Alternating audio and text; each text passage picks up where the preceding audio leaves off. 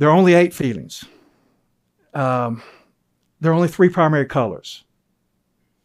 There are only three primary colors. That's not a giant debate, right?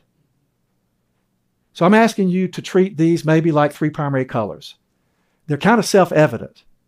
There they are. So it doesn't have to be a giant debate. There are only eight. It's not like a giant big deal. It's not some huge memorization thing. They're already natural to you. You already know what they are. You just got to be willing to admit that you have them and surrender to the facts and then live in acceptance of, of doing something with them. So if, if you know the three primary colors and you can mix and match those colors, you can become an incredible artist, a, a person who, who, who gets how to paint the multiple tones and expressions of life. These are just tools that let you become multi talented. They, they're, they're there to expand. They're just eight. You have a certain number of organs in the body, there are a certain number of musical notes, there are three primary colors, and there are eight feelings. Kind of sorry. Now, yeah, Chip, but there are more feedings than that. Well, no, there aren't.